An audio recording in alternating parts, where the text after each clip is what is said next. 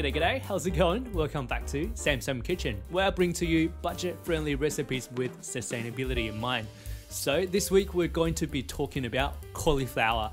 I'm so, so glad that it's cauli, at least I think it is, it's cauliflower season. It's back. So cauliflower is one of those food that has gained so much popularity recently. It's super versatile. You can roast it, turn it into soup. You can put that in salad. The neutral flavor nature of it just means that it takes on so much flavor. It's such an amazing food. So recently I've been craving fried chicken and let's be honest, I'm always craving fried chicken. Thought this is a perfect opportunity to turn them into super crunchy uh, buffalo wing or whatever, fried chicken, whatever you want to call them.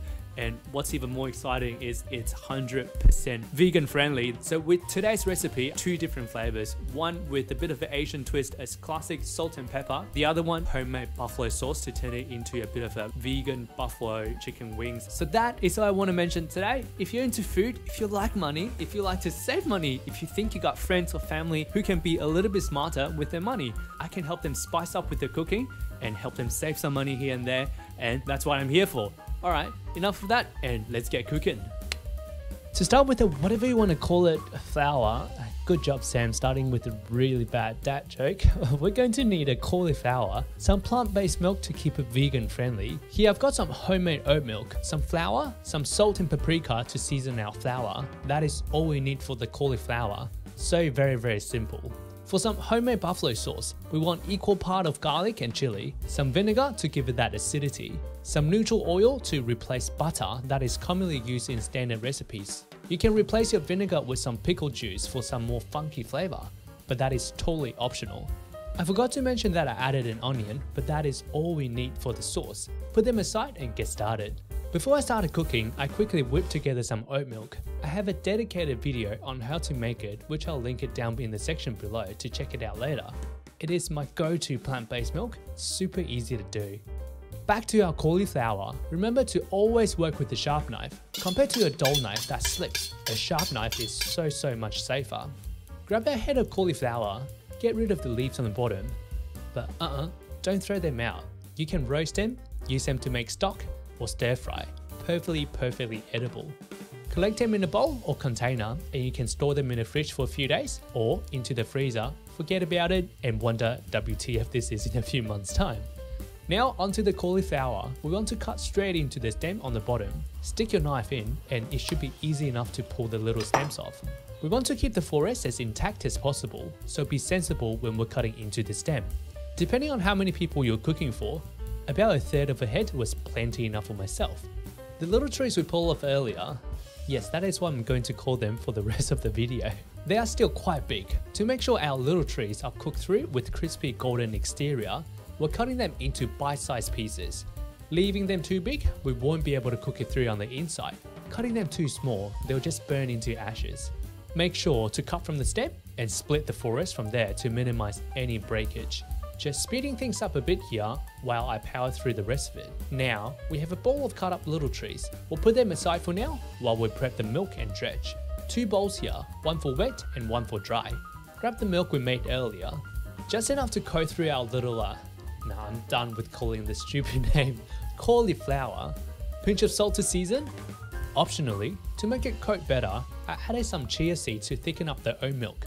Give it a good stirring It'll take about 10 to 15 minutes to hydrate and thicken up the liquid.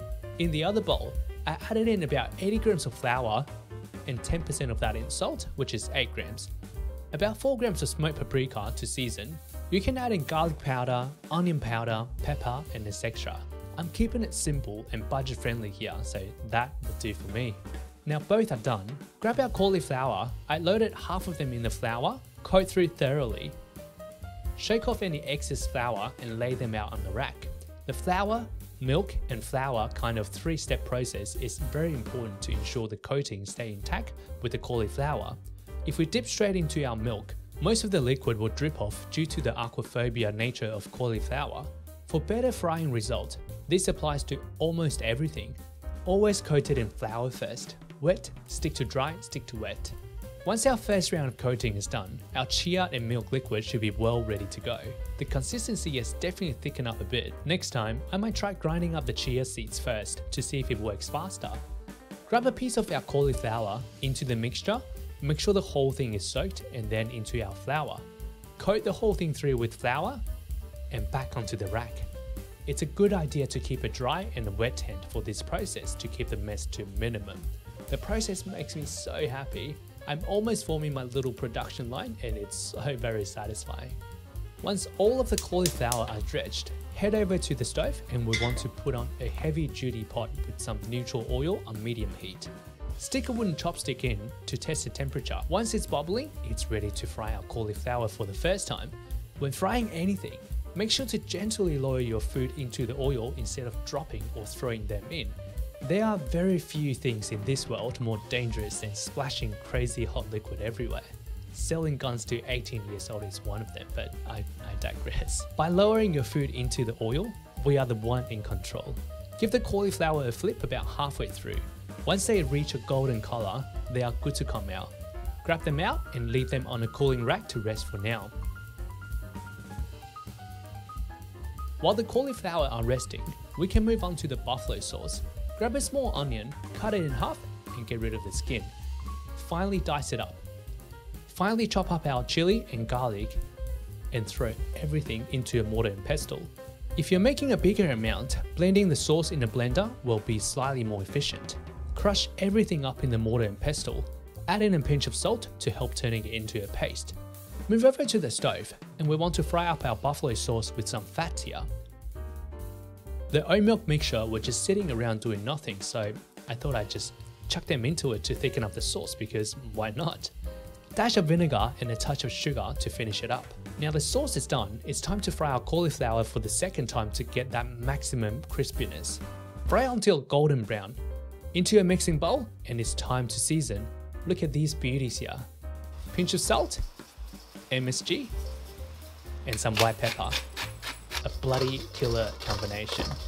For the other half, it's our buffalo sauce. Nice and sticky, and the smell of it, you really, really gotta try it. Into your serving bowl. Some garnish to jazz it up a bit, and that is it. The cost breakdown is as below. One third of a cauliflower is about 6 to 6 cent, 80 grams of flour at $2.20 a kilo equals to 17.6 cent. 20 grams of salt at 90 cents a kilo equals to 1.8 cent. 200 ml of oat milk at 22.5 cents per litre equals to 4.5 cent. One small onion, 4 cloves of garlic and 4 chilies is about 15 cent. 200 grams of neutral oil at 35 cent a kilo equals to 7 cent. Altogether, the serve of two-weight cauliflower goodness costed us $1.11.9 to make. Good luck to even try to get a piece of fried chicken with that price. Alright, and there we have it. We've got our cauliflower two-way done over here. Some buffalo on one side and just some classic salt and pepper with a sprinkle of MSG on the other side. I honestly can't wait to dig in, but before we get there, I just want to show you the crunchiness. This has been sitting here for about 20 minutes now, but it's still bloody crunchy. Yeah, alright. Going to dig in and just let you know how it tastes like. I'm gonna start with the salt and pepper. The double fry exterior just hits the spot. The cauliflower on the inside is cooked perfectly, nice and soft, in contrast to the crunchy exterior. There's something about salt and pepper with deep fried food, especially say salt and pepper squid and back in Taiwan we've got salt and pepper, popcorn chicken. They just work so well. On the other side we've got our buffalo and see how it tastes like. Packs a punch. Slightly spicy, but it's bloody delicious. The amount of buffalo sauce recipes that I've browsed through on the internet 99% of them ask for some form of store-bought hot sauce, which just doesn't make sense. So over here, some make do recipe with all of the key flavor ingredients and it just works. Honestly, can't be happier with this result. Everything in this bowl is vegan friendly, no milk, no eggs required. That is all I wanted to say. I'm going to finish this before it gets too cold. Thank you so much for tuning in. If you enjoyed the video, give it a like and consider subscribing. Every two weeks, I have a budget friendly but also sustainable recipe coming out to you. So hit that subscribe button and I have more coming your way. Thank you so much and I will see you in the next video.